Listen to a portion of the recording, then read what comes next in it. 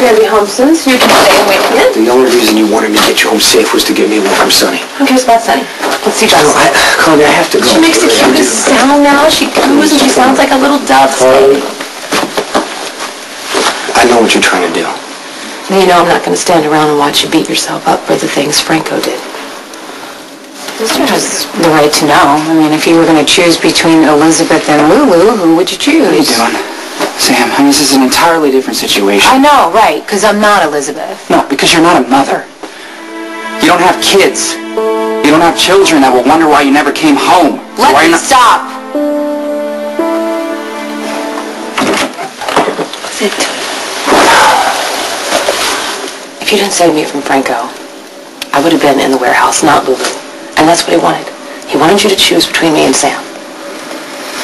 Funny, that's a choice I tried to force on you many of times. It's not the same thing. You called Dominic. He got to Lulu in time. She's alive. Everything's fine. But this is a switch, isn't it? What? I'm giving you the pep talk instead of the other way around. I've seen you go through so much, Jason, but I've never seen you like this. What's going on? Because every move I made was wrong. That's not true. Yes, it is. Every time I came to Franco, he saw it from a mile away, just like he said he would. Okay, don't tell me you believe one word that came out of that man's mouth. He's gone. You won. I don't think the whole time Franco was in Port Charles, he did anything he didn't want to do. He's smart. Not if you ask me. Because I think anyone who would take you on is a fool. Not to mention suicidal. He may be a fool, but he's right. Me and Franco, we we are alike. You. I'm sorry. I know I was, I was completely out of line. It's okay. I know you're upset. No, it, it's not. I, I know that you lost a child, and I know how horrible that was for you. I didn't mean to open up old wounds. I know you didn't. If you're mad at anyone, you're mad at Jason. Sam was in as much danger as I was. Yeah, but my bomb wasn't real. But you didn't know that until the timer ran out. You were still abducted and held against your will and forced to watch what you thought were the last seconds of your life ticking away. Lulu's right. Look, Sam, I should have told you this right away. I'm really, really grateful that you're both alive. For Franco, it was all about the experience. He was just living in the moment. So you're saying he just does it for the thrill? Oh, he can't really feel, so he pushes the envelope. I'm the same way. No, you're not. No, our reasons might be different, but I'm never as alive as I am when I'm taking a risk. I push everything to the edge. I always have, and I still do. And I've taken people's lives. And you've had reasons. Franco's a coward, Jason. He hides behind his art. The man is twisted and just plain evil, and I've seen the good that you do. Thank you. I appreciate you listening. You know where your strength comes from? What Franco can't touch? Your heart. And that's where I am. And all the people who love you. How can Franco possibly compete with that?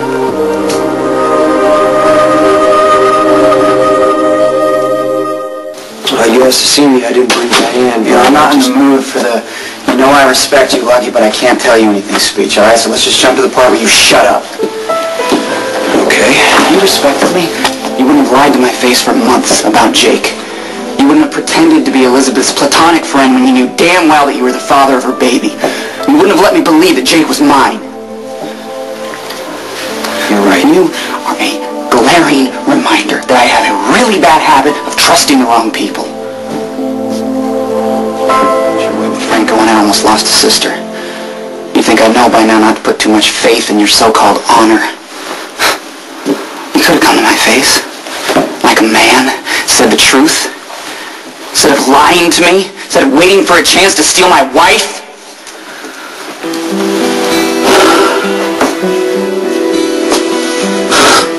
Oh, I'm sorry, man. No, you don't owe me anything. No, just, uh, I just dragged Elizabeth and, and Jake into a, what's supposed to be a police interrogation that's completely unprofessional. Another uh, investigator's going to contact you, get your statement taken Now, Lucky, Lucky, hold on. For the record, I do respect you. And I am sorry dishonest about Elizabeth and Jake because I've seen how you are with him. I've seen how safe you keep him. Yeah. I love him as my own. With everything that's happened with Franco and how he came at me, I cannot tell you how grateful I am that Jake has you as a father.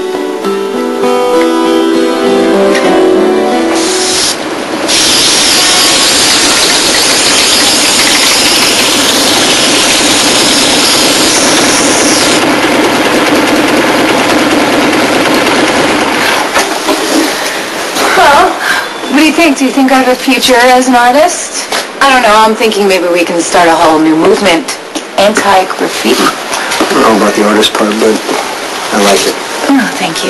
I can't take all the credit though. It was Spinelli's idea. Look, I'm sorry for letting Franco drag you into this. Um, wait a minute. Jason, can you, can you do something for me, please? Can you stop apologizing for Franco?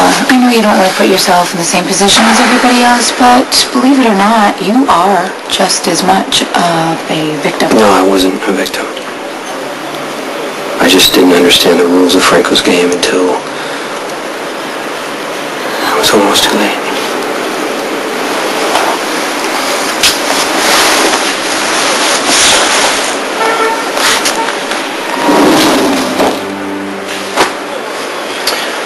Franco will make contact when he's ready. So, what happens now? Well, we wait for the autopsy report on Claudia and hope there's nothing that can implicate Michael. You know, I've been meaning to tell you. Thank you for choosing to save my life. It was never a choice. Do I need to be invisible to just survive? Or am I Let's go for a ride. Try so hard to quiet my expensive dreams before they take me out.